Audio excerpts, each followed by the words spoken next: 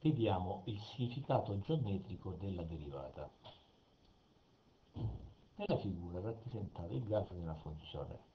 In questo caso abbiamo scelto f di x uguale a meno x quadro più 4x, cioè una parabola con la concavità rivolta verso il basso.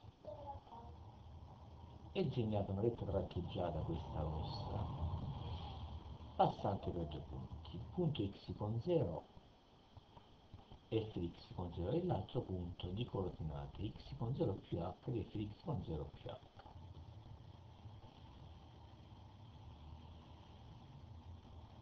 Si definisce il rapporto incrementale, il rapporto fra delta y e delta x, cioè tra l'incremento della variabile dipendente e quella variabile dipendente.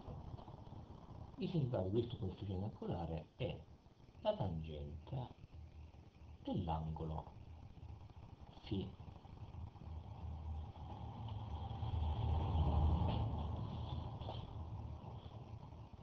Se vogliamo fare la derivata, direttamente abbiamo che f' di x uguale a meno 2x più 4.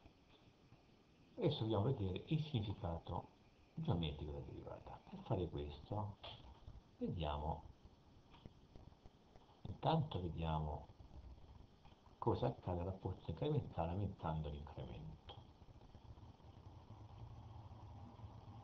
La recasitante l'equazione y uguale a 1,41x, in questo caso più 1,41, cioè il coefficiente angolare la tangente dell'angolo formato dalla retta secante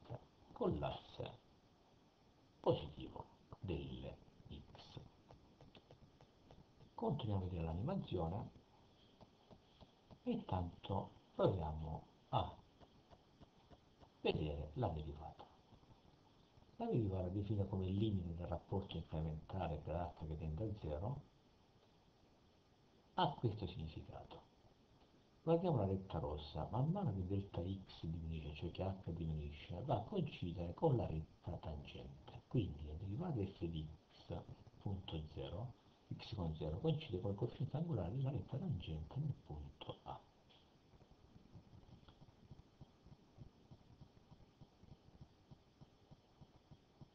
L'angolo formato dalla retta tangente è alfa.